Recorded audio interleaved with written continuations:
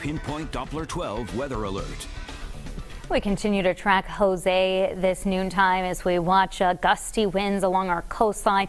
We are getting closer to low tide in Narragansett, and so the waves uh, backing up with that. But another high tide cycle coming this evening, and we do expect that the wave heights will be between 7 and 10 feet along our open waters of uh, Narragansett uh, Bay as well as Rhode Island and Block Island Sound. So Narragansett 70 degrees. The number to note here, the wind gust 45 miles per hour.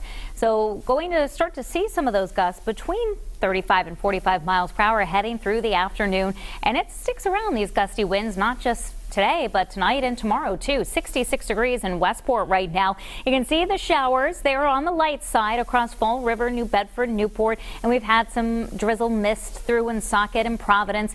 Steadier bands of rain have had trouble making it past Buzzards Bay, so they're kind of fizzling out as they move west northwest and going to continue to watch those bands. Some off and on rain expected, but the heavier rainfall going to be a miss for Rhode Island, staying over Cape Cod, Nantucket, and Martha's Vineyard. Here is is Jose. Still, again, a sizable tropical storm, 70 mile per hour sustained winds. That's up from earlier this morning, and it's sitting about 150 miles to the south of Nantucket, just grazing Block Island, Martha's Vineyard, Nantucket with those tropical storm force winds. And again, the forecast track drifts it to the northeast, and then it reverses course, backs up closer to us Thursday into Friday. And so even as late as Friday, we'll still have some gusty winds, some uh, lingering clouds, and the risk of some showers. I did keep our threat tracker elevated for today and Thursday as we watch those stronger wind gusts. The wind advisory set to continue until tomorrow evening. So 35 to 45 mile per hour winds for most of Rhode Island,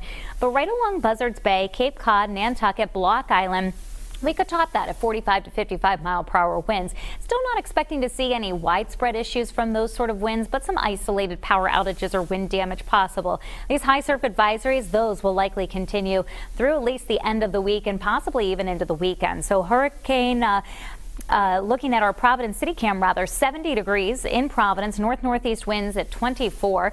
We're going to see those temperatures hover right around the upper 60s to low 70s throughout the rest of the afternoon and evening hours, along with those gusty winds overnight tonight. More showers, winds gusty as well, and then and some slow improvements tomorrow. Some of our computer models do keep some showers around and a lot of clouds too. Let's talk about Maria moved over Puerto Rico throughout the morning going to emerge back over the water this afternoon. And there's the forecast track Maria. Major hurricane as it stays just to the north and east of uh, the Dominican Republic coming close to the Turks and Caicos. And then it looks like it'll be well east of Florida. We've got to not keep a close eye on Jose jumping that time clock forward to Saturday.